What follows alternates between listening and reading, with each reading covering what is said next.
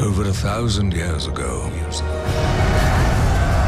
the soldiers of light and the warriors of darkness fought for possession of the chalk of fate, fate which controls our destiny. When neither side could attain it, a truce was struck. For centuries, that truce has been guarded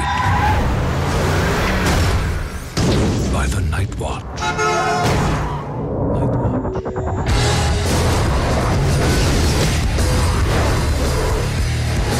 And if they're going to prevent the war, to end all wars,